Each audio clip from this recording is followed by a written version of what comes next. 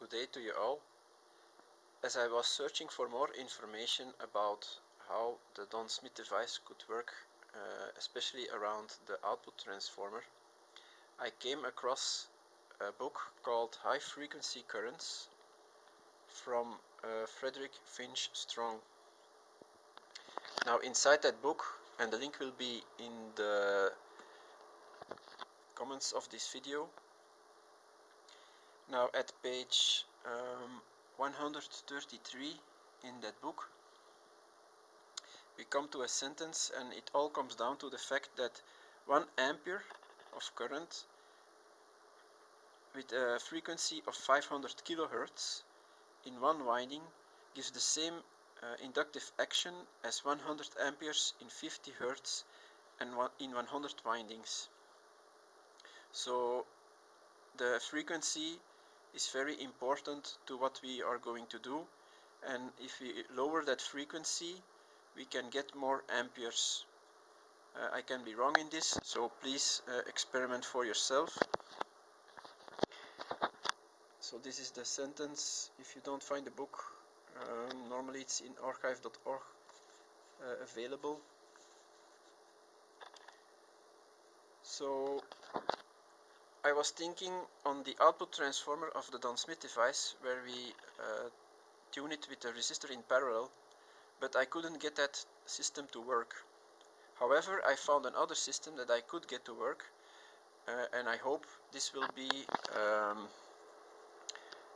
this will lead to a working uh, device. So what I'm going to do is I have over here my signal generator with two channels and it goes each channel goes to a Schottky diode so I can uh, do the frequency um, mixing.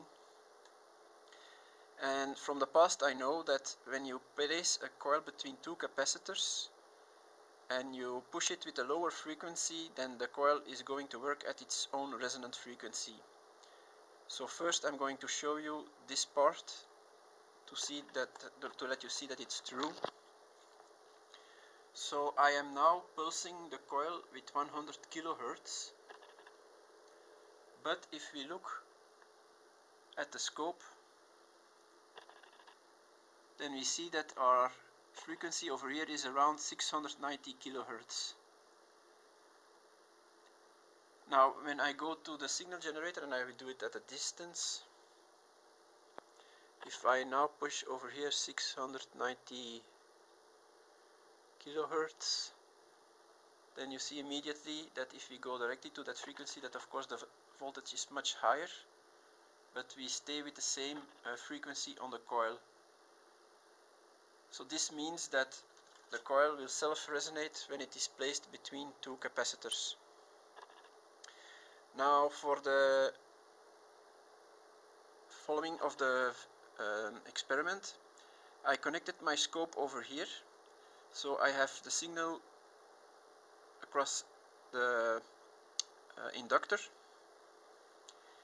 But it's important that we have of course one-to-one -one transformer in between so that we don't have a direct connection to the grid. Otherwise our uh, GND connection will be directly to our signal generator.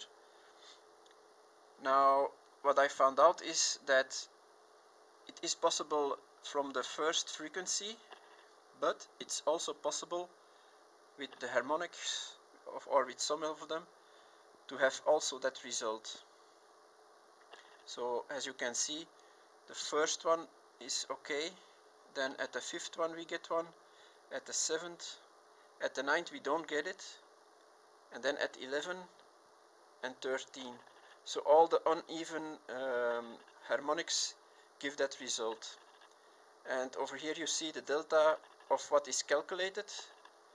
So this is just uh, the frequency of 2 megahertz and then uh, added 13 times the 0.69 kilohertz uh, megahertz excuse me from the resonant uh, frequency that we have over here. And this is the difference. So over here we have a delta of 0.28 megahertz between the calculated um, frequency and the frequency that I experimentally um, found out that would give the best result. So now I'm going to disconnect. So this was just to make the to show you that it was the self-resonance that we see. Now we are going to change. So now I'm also going to put out uh, channel 2 and I'm going to start first with giving uh, 2 megahertz at channel 1 and we go to channel 2 and we set that to 2.69 megahertz. And we put it on the output.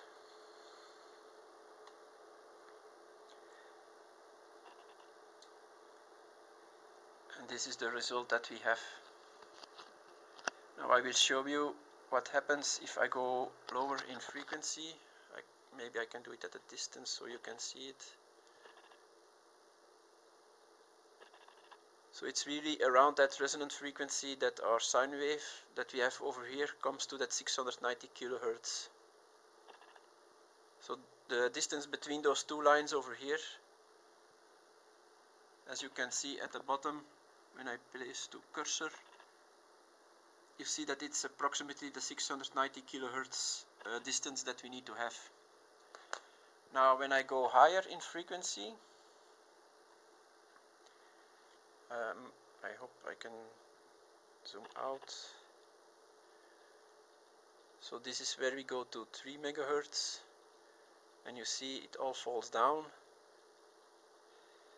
Now I'm going to turn and normally we should come to 5 megahertz again so 5.3 megahertz then we should have the sine wave again.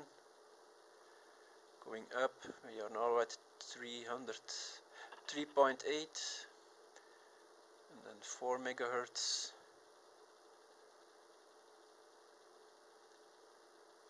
4.5 then we go to 5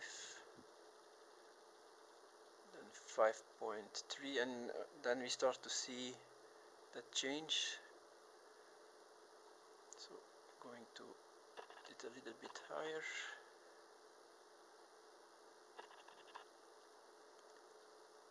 So this is 5.3 then 5.3b1 as uh, in the measurements that, I, that you see over here. You can see it over here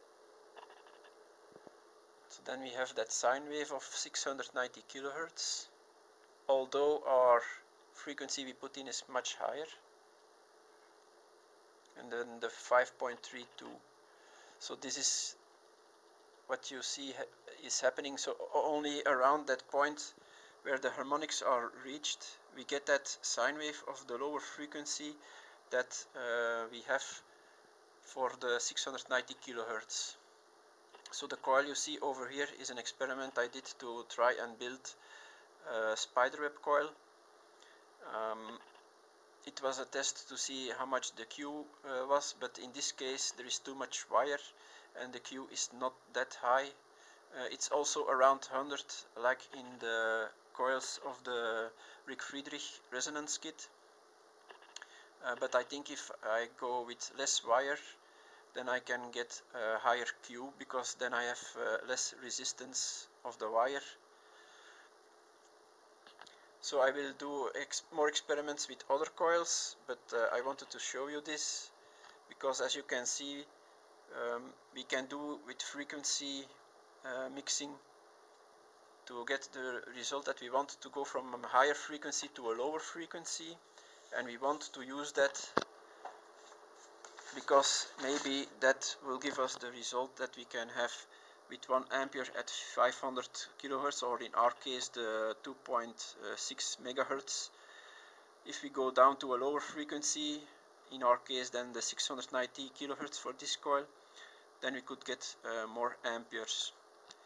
So uh, I cannot say that this is the case at the moment but I found it important to let you see that uh, it is possible to, to achieve this. So thank you for watching and hope to see you in the next movie.